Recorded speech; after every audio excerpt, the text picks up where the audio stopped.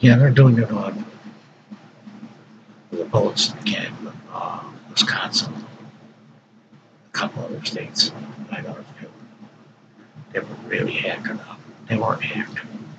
President Trump is the president. And I'm sure Hillary by now could give a shit less about this presidency. Just wants to get home and spend time with her family. She's being, she's being, she's being comfortable with all you want. She, wouldn't take the job you gave it to her, no. It wouldn't be right. It wouldn't be right to throw that man out of power. It wouldn't be right. It wouldn't be legal.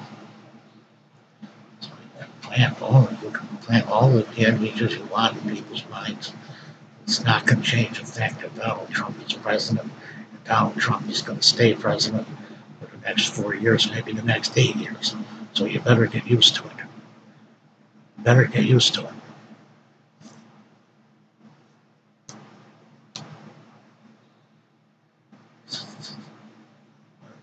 I know they want to audit to make sure it's legal, it's done right, which is okay. There are people around the world that just hate Donald Trump out of office.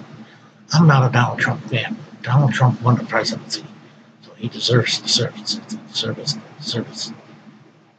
He deserves the service four years or eight years, whichever one he wants, whichever one he can get.